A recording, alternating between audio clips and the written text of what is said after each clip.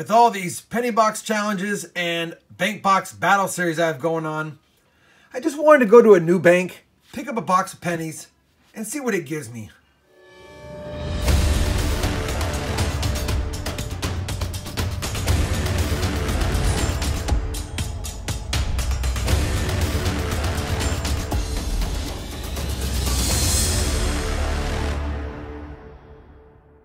Hey everyone, it's Rob with Rob Finds Treasure, and like I said in the beginning, I just want to do a one-box hunt, take my time, use the scope, check for errors and varieties, have a lot of fun doing this, and not rush through a couple of boxes. I chose this box, honestly, because it seemed like there's a lot of good top enders on it, not a lot of shield cents, a whole bunch more copper. I don't know, I could be just wishful thinking, but it just seemed like there's a lot better coins in this box than I have seen in a while. And I can only see the top row right now, so I'm going to stop there. But I'm going to get through this box, and I will always loop you guys along the way. I am itching to find something really old.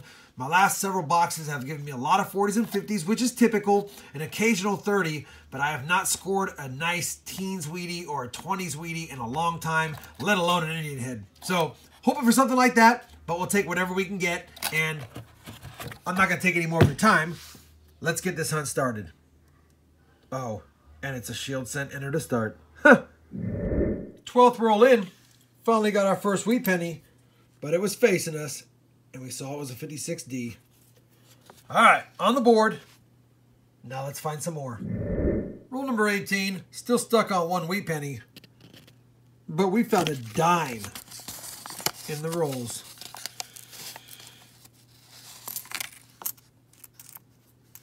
Hopefully it's something cool. Nope. 2001. Made a dime though. Roll 20 and I saw one wheat penny when I laid it out so I flattened a lot of them and I think we have one there. Could be old. Look at that wear. And one I believe right there because I don't see a rim. It is. All right, couple of wheat pennies in this roll. That makes me feel better about the box. I was getting nervous.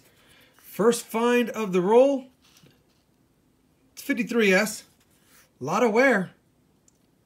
Thought it'd be older. But still, S mint mark. We'll take it. And then back here. A 45S. So a couple of S mint Wheaties in that roll. And that makes me feel better. A, we've got three wheat pennies now. And a couple were S mint marks. Roll number 32. And... Yeah, that is a worn back. We may not even get a date on this one. I guess we'll flip it and see if there's a date. It's a 1920 something with a Denver Mint, I believe. Let's see if I can see it under the microscope. So we're zoomed in a lot. Let me show you what I'm looking at under the microscope here. We know that this is a 1-9, and that is most likely a D. So that's probably a 19-something D. I haven't touched this penny besides wipe it with my finger, and this is what it looks like. Now, don't mind this hard line.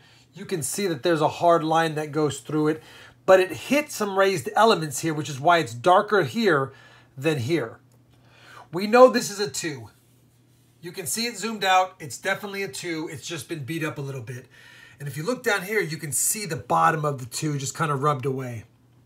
Besides, it's not a three, it's not a four, there's no tail down here, and it's even with this, which would be where the two is. Seeing that that's a two, and seeing that this characteristics down here is the leg, there's a very similar leg down here. So I'm not paying too much attention to this because this could be a zero. This could be a zero. So it's either a 1920 or, in my opinion, a 1922.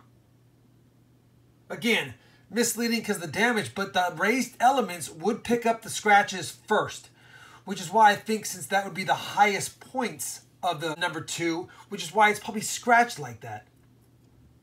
Man, then when you look at it further, you think, well, could it just be some extra damage and that's a six?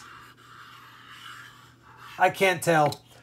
Best guess 1920, 1922, or 1926. I don't think it's a four because I don't see anything trailing off over here.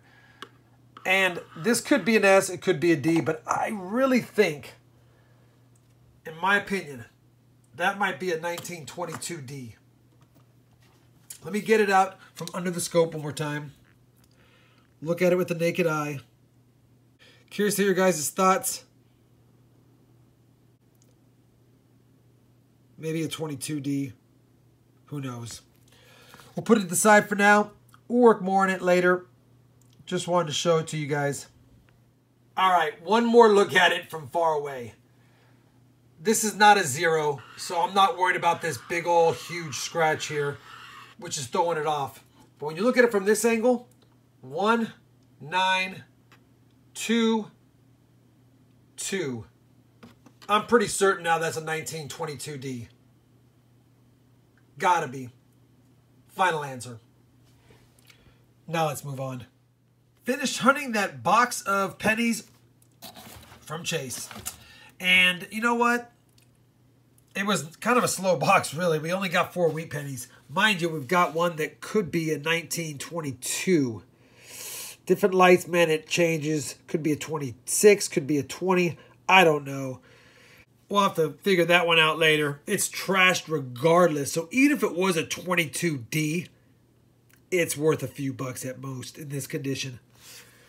Could be a book filler though. We did find nine 2009s, one of my lowest, and only 259s. No 69Ss, no foreigns, no proofs, hardly anything. We did find a dime, odd, and we did find this 1992. I was checking it for the close AM, which it wasn't, and I'll show you that. Not the close AM, but it had a significant amount of doubling, and it's just machine doubling by the way it is, but it's still pretty cool find.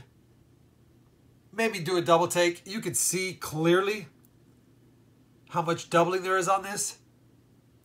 Matter of fact, if I show other letters, I think they're all pretty similar.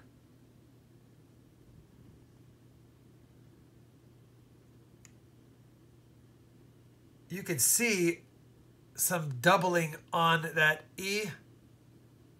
Pretty pronounced.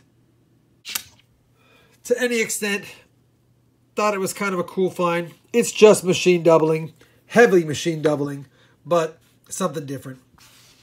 Glad I opened that box on its own. I thought it looked like a good box. And you know what? I'd rather take oldies than a whole bunch of 50s. So hopefully you enjoyed this quick little one box hunt with me. If you did, I'd appreciate a thumbs up. And as always, everyone, happy hunting. And thanks for watching.